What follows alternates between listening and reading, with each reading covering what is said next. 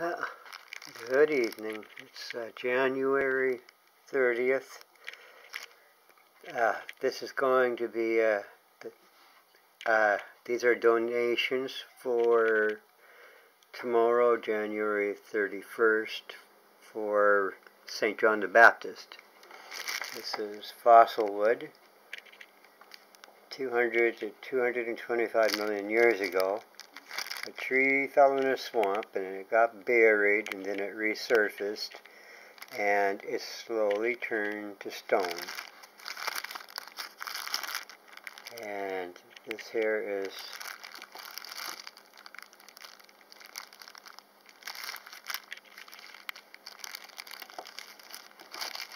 it's a nice sample of it.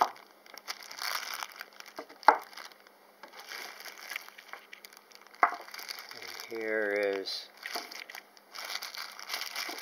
burrow fossil and angel shale.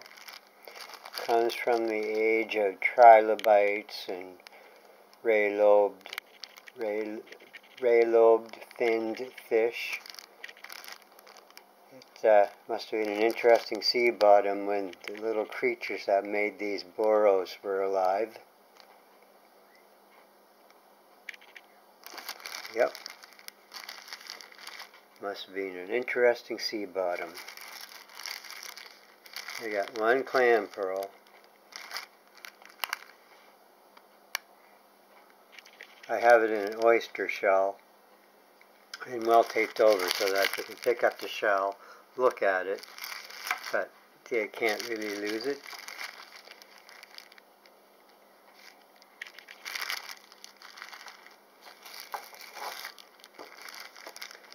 Here is seed fern fossil from the Carboniferous Permian period. Basically, think of it as plant or wood. That's what the bark, the bark of the tree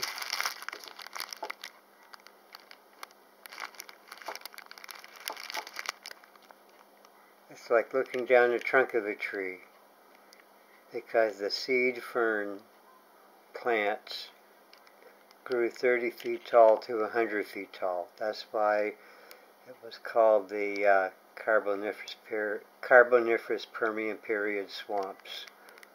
When dragonflies with two foot wingspans were chasing smaller insects and amphibians were chasing the dragonflies.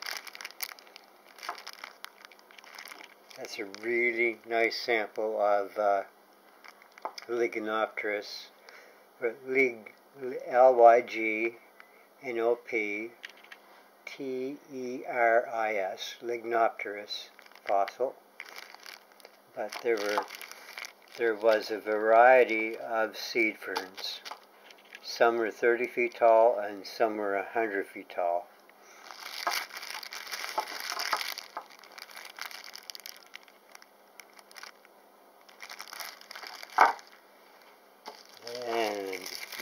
We have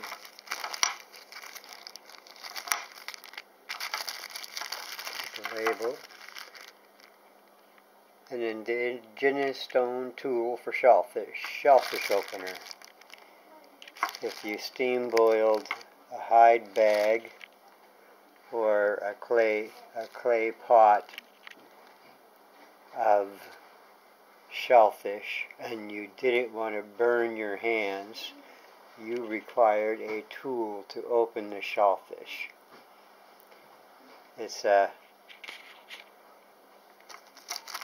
basically in that way, turn and finish you just finish opening up the steamy shellfish with stone tools and that is a perfect example of what they would use.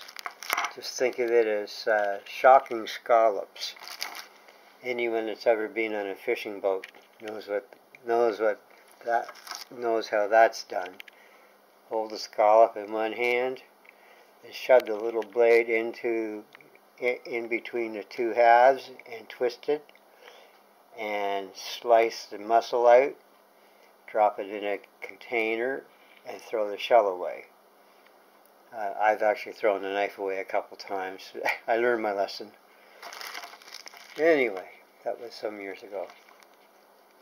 But this is an, an authentic indigenous stone tool or lithic stone tool. A lot of people wouldn't recognize little things like this. But uh, I have I had the opportunity, in, which I'm thankful for, to study this. And that is that's my donations for January 31st. I think the kids will have a grand old time looking at these and and maybe learning a little bit about the world that was before them and the world that they live in now.